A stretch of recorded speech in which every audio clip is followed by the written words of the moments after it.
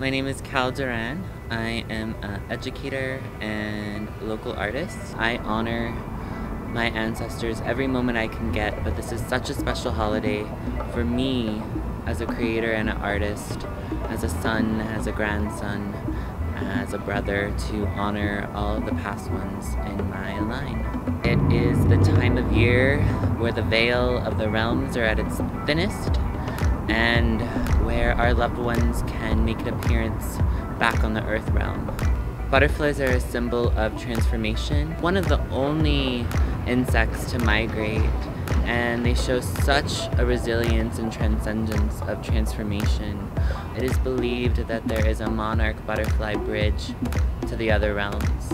And by making these hand-stamped butterflies, I throw my soul into them hoping that the butterfly will be a remembrance of whoever is receiving them.